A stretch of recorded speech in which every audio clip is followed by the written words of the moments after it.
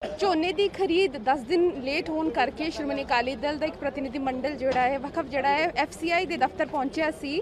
Sector 31 ਦੇ ਵਿੱਚ ਉਹਨਾਂ ਦਾ ਦਫ਼ਤਰ ਹੈ ਤੇ ਇੱਥੇ ਜਿਹੜੇ ਡੀਜੀ ਉਹਨਾਂ ਦੇ ਨਾਲ ਮਿਲੇ ਸੀ। ਤੇ ਤੁਸੀਂ ਦੇਖ ਸਕਦੇ ਹੋ ਇੱਥੇ ਇੱਕ ਟਰਾਲੀ ਲੈ ਕੇ ਆਏ ਨੇ। ਸੁਖਬੀਰ ਬਾਦਲ ਨੇ ਸਾਫ਼ ਤੌਰ ਤੇ ਕਿਹਾ ਹੈ ਕਿ ਜਿਹੜੀ ਝੋਨੇ ਦੀ ਖਰੀਦ ਹੈ ਵੈਸੇ ਇੱਕ ਤਾਰੀਖ ਨੂੰ ਹੋ ਜਾਂਦੀ ਹੈ ਲੇਕਿਨ ਪਹਿਲੀ ਵਾਰ ਅਜਿਹਾ ਹੋਇਆ ਹੈ ਕਿ ਝੋਨੇ ਦੀ ਖਰੀਦ ਜਿਹੜੀ ਹੈ ਉਹ ਅ, 10 ਦਿਨ ਲੇਟ ਹੈ ਤੇ ਇੱਕ ਜਿਹੜੀ ਹੈ ਪੰਜਾਬ ਸਰਕਾਰ ਦੀ ਨਾਕਾਮੀ ਹੈ ਅਤੇ ਕੇਂਦਰ ਸਰਕਾਰ ਨੂੰ ਉਹਨਾਂ ਨੇ ਅਪੀਲ ਕੀਤੀ ਹੈ ਕਿ ਮੋਇਸਚਰ ਚੈੱਕ ਕਰਕੇ ਜਿਹੜਾ ਹੈ ਉਹ ਖਰੀਦ ਜਲਦ ਤੋਂ ਜਲਦ ਕਰਨ। ਤੇ ਇਸ ਤੋਂ ਇਲਾਵਾ ਉਹਨਾਂ ਨੇ ਕਿਹਾ ਕਿ ਮੈਂ ਆਪ ਮੰਡੀ ਗਿਆ ਸੀ, ਉੱਥੇ ਮੈਂ ਦੇਖਿਆ ਸੀ ਕਿ ਮੋਇਸਚਰ ਜਿਹੜਾ ਹੈ, ਉਹ ਸਾਰੇ ਝੋਨੇ ਦਾ ਇੱਕ ਹੀ ਵਰਗਾ ਹੈ। ਤੇ ਤਸਵੀਰਾਂ ਦੇ ਵਿੱਚ ਤੁਸੀਂ ਦੇਖ ਸਕਦੇ ਹੋ ਕਿ ਸੁਖਬੀਰ ਬਾਦਲ ਜਿਹੜਾ ਇੱਕ ਟਰਾਲੀ ਲੈ ਕੇ ਆਏ ਸੀ, ਜਿਸ ਵਿੱਚ ਉਹਨਾਂ ਨੇ ਝੋਨਾ ਵੀ ਰੱਖਿਆ ਸੀ। ਹਾਲਾਂਕਿ ਇਸ ਮੁੱਦੇ ਨੂੰ ਲੈ ਕੇ ਜਿਹੜਾ ਕੱਲ ਤੋਂ ਹੀ ਕਾਫੀ ਜ਼ਿਆਦਾ ਰਾਜਨੀਤੀ ਹੋਣੀ ਸ਼ੁਰੂ ਹੋ ਗਈ ਸੀ।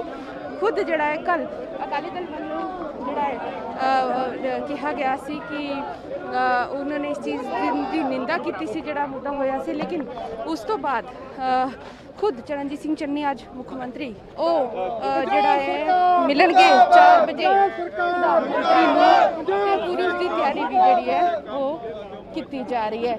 ਤੇ ਤਸਵੀਰਾਂ ਦੇ ਵਿੱਚ ਤੁਸੀਂ ਦੇਖ ਸਕਦੇ ਹੋ ਕਿ ਕੁਝ ਜਿਹੜੇ ਹੈ ਇਸ ਜਿਹੜੀ ਪ੍ਰਕਿਰਿਆ ਜਿਹੜੇ ਇੱਕ ਫੈਸਲਾ ਪੰਜਾਬ ਸਰਕਾਰ ਵੱਲੋਂ ਲਿੱਤਾ ਗਿਆ ਉਸ ਦੇ ਖਿਲਾਫ ਅ, ਲੋਕੀ ਹਨ ਤੇ ਇਕੱਠੇ ਹੋ ਗਏ ਹਨ। ਅਸਲ 'ਚ ਖਰੀਦ ਆ ਪਹਿਲੀ ਅਕਤੂਬਰ ਤੋਂ ਸਟਾਰਟ ਹੁੰਦੀ ਆ।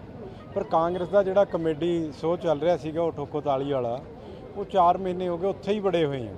ਨਾ ਬਾਰਦਾਨਾ ਆਇਆ ਉਹਨਾਂ ਕੋਲ ਨਾ ਪੱਲੇਦਾਰ ਅਰੇਂਜ ਕਰੇ ਨਾ ਟਰਾਂਸਪੋਰਟ ਦੇ ਟੈਂਡਰ ਲਗੇ। ਸੋ ਇਸ ਕਰਕੇ ਜਿਹੜੀ ਪਰਚੇਜ ਆ ਕਿਉਂਕਿ ਇਹ ਚੱਕ ਲਿਫਟਿੰਗ ਦੀ ਇਹਨਾਂ ਨੂੰ ਪ੍ਰੋਬਲਮ ਆ, ਮੰਡੀ ਤੋਂ ਚੱਕ ਨਹੀਂ ਸਕਦੇ। ਇਹਨਾਂ ਨੇ ਸੈਂਟਰਲ ਦੀ ਗਵਰਨਮੈਂਟ ਨਾਲ ਮਿਲ ਕੇ ਜਿਸ ਤਰ੍ਹਾਂ ਅਮਰਿੰਦਰ ਸਿੰਘ ਦੀ ਸਰਕਾਰ ਮੋਦੀ ਨਾਲ ਮਿਲੀ ਹੋਈ ਸੀਗੀ ਉਹ ਹੁਣ ਚੰਨੀ ਸਾਹਿਬ ਵੀ ਮੋਦੀ ਜੀ ਨੂੰ ਸਤਿ ਸ੍ਰੀ ਅਕਾਲ ਬੁਲਾਉਣ ਗਏ ਆ, ਜਿਸ ਤਰ੍ਹਾਂ ਉਹਨਾਂ ਨੇ ਤਿੰਨ ਕਾਨੂੰਨ ਉਹਨਾਂ ਹਾਈ ਪਾਵਰਡ ਕਮੇਟੀ ਤੋਂ ਰეკਮੈਂਡ ਕਰਵਾ ਕੇ ਕਰਵਾਏ ਸੀਗੇ। ਉੱਥੇ ਸੈਟਿੰਗ ਕਰਕੇ 10 ਦਿਨ ਇਹਨੂੰ ਪੋਸਟਪੋਨ ਕਰ ਦਿਆ।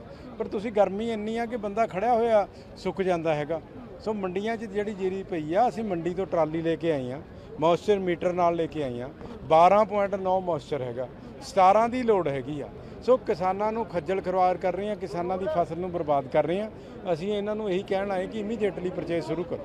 ਇਸ ਤੋਂ ਪਹਿਲਾਂ ਕੋਈ ਇੰਟੀਮੇਸ਼ਨ ਨਹੀਂ ਦਿੱਤੀ ਸੀ ਇਹ ਸਰਕਾਰ ਕਾਂਗਰਸ ਜਿਹੜੀ ਆ ਕਿਸਾਨ ਵਿਰੋਧੀ ਆ। ਕੱਲ ਕੱਲ ਹੀ ਇਹਨਾਂ ਨੇ ਖਬਰ ਪਾਈ ਆ ਵੀ ਹੁਣ 11 ਤੋਂ ਚੱਲੂਗੀ। ਅੱਜ ਅਸੀਂ ਇੱਥੇ ਆਏ ਆ।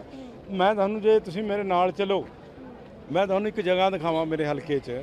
ਇੱਕ ਜ਼ਮੀਨ ਆ 6 ਕਰੋੜ 22 ਲੱਖ ਰੁਪਏ ਨੂੰ ਪਰਚੇਜ ਹੋ ਰਹੀ ਆ। ਕਿਸੇ ਆਪ ਦਾ ਬੜਾ ਸੀਨੀਅਰ ਲੀਡਰ ਆ ਕੇਜਰੀਵਾਲ ਦਾ ਖਾਸ ਬੰਦਾ। ਤੇ ਨਾਲ ਵਾਲੀ ਕਿਸੇ ਜ਼ਿਮੀਂਦਾਰ ਦੀ ਜ਼ਮੀਨ ਆਮ ਬੰਦੇ ਦੀ। ਉਸ ਦੀ ਕੀਮਤ ਫਿਕਸ ਕਰੀ ਆ 38 ਲੱਖ ਰੁਪਏ।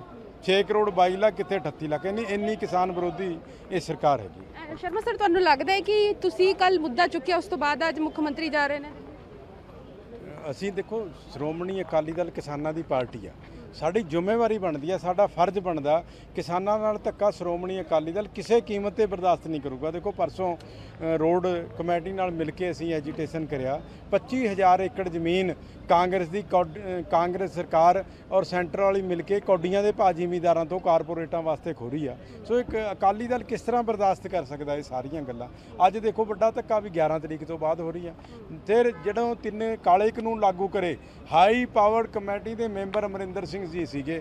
ਜਦੋਂ ਹੁਣ ਕਾਂਗਰਸ ਖਤਮ ਹੋ ਗਈ, ਪੰਜਾਬ 'ਚ ਹੁਣ ਜਾ ਕੇ ਮੋਦੀ ਨਾਲ ਮੀਟਿੰਗਾਂ ਕਰਨ ਲੱਗੇ ਇਸ ਤੋਂ ਕਲੀਅਰ ਆ ਵੀ ਇਹਨਾਂ ਦੀ ਰეკਮੈਂਡੇਸ਼ਨ ਨਾਲ ਹੁੰਦਾ ਬਿੱਲੀ ਥੈਲੇ ਤੋਂ ਬਾਹਰ ਆ ਗਈ। ਹੁਣ ਆ ਕੇਜਰੀਵਾਲ ਸਾਡੇ ਬੀਬਾ ਹਰਸਿਮਰਤ ਕੌਰ ਬਾਦਲ ਦੇ ਅਸਤੀਫੇ ਦੇ ਕਿੰਤੂ ਪਰੰਤੂ ਕਰਦੇ ਆ। ਜਿਸ ਦਿਨ ਕੇਜਰੀਵਾਲ ਨੇ ਦਿੱਲੀ 'ਚ ਤਿੰਨ ਨੋਟੀਫਾਈ ਕਾਨੂੰਨ ਨੋਟੀਫਾਈ ਕਰੇ ਕਿ ਪੰਜਾਬ ਦੇ ਕਿਸੇ ਲੀਡਰ ਨੇ ਰਿਜ਼ਾਈਨ ਦਿਆ, ਭਗਵੰਤ ਮਾਨ ਨੇ ਰਿਜ਼ਾਈਨ ਦਿੱਤਾ ਆ, ਹਰਪਾਲ ਚੀਮੇ ਨੇ ਰਿਜ਼ਾਈਨ ਦਿੱਤਾ, ਕਿਉਂਕਿ ਦਿੱਲੀ ਵਾਲੇ ਲੀਡਰਾਂ ਨੂੰ ਖੁਸ਼ ਕਰਨਾ ਇਸ ਕਰਕੇ ਕੋਈ ਬੋਲੇ ਨਹੀਂ। ਸੋ ਮੇਰਾ ਕਹਿਣ ਤੋਂ ਭਾਵ ਜਿਹੜੀ ਦਿੱਲੀ ਦੀਆਂ ਪਾਰਟੀਆਂ ਚਾਹੇ ਆਪ ਆ ਚਾਹੇ ਬੀਜੇਪੀ ਆ ਚਾਹੇ ਕਾਂਗਰਸ ਆ ਉਹਨਾਂ ਦਾ ਪੰਜਾਬ ਨਾਲ ਕੋਈ ਲਗਾਓ ਨਹੀਂ ਹੈਗਾ। ਇਸ ਕਰਕੇ ਪੰਜਾਬ ਦੇ ਕਿਸਾਨਾਂ ਨੂੰ ਖਤਮ ਕਰਨ ਤੇ ਲੱਗੇ। ਸ਼ਰਮਾ ਸਰ ਇੱਕ ਆਖਰੀ ਸਵਾਲ। ਅੱਜ ਤੁਸੀਂ ਇੱਥੇ ਪ੍ਰਦਰਸ਼ਨ ਕਰ ਰਹੇ ਹੋ। ਜੇ ਇੱਕ ਦੋ ਦਿਨਾਂ ਦੇ ਵਿੱਚ ਖਰੀਦ ਸ਼ੁਰੂ ਨਹੀਂ ਕੀਤੀ ਤੇ ਕੀ ਨੈਕਸਟ ਸ਼੍ਰੋਮਣੀ ਅਕਾਲੀ ਦਲ ਦੀ ਕੋਰ ਕਮੇਟੀ ਫੈਸਲਾ ਕਰ ਰਹੀ ਆ। ਅਸੀਂ ਬੜੇ ਵੱਡੇ ਪੱਧਰ ਤੇ ਐਕਸ਼ਨ ਲਵਾਂਗੇ ਜੇ ਪਰਚੇਜ ਦੋ ਦਿਨਾਂ ਚ ਨਾ ਸ਼ੁਰੂ ਹੋਵੇ ਬਿਲਕੁਲ ਦੋ ਦਿਨਾਂ ਵਿੱਚ ਜਿਹੜੀ ਰਣਨੀਤੀ ਤਿਆਰ ਕੀਤੀ ਜਾਵੇਗੀ, ਜਿਹੜੀ ਕਿ ਪ੍ਰੋਕਿਉਰਮੈਂਟ ਕੇਂਦਰ ਸਰਕਾਰ ਨੇ ਸ਼ੁਰੂ ਨਹੀਂ ਕੀਤੀ ਤਾਂ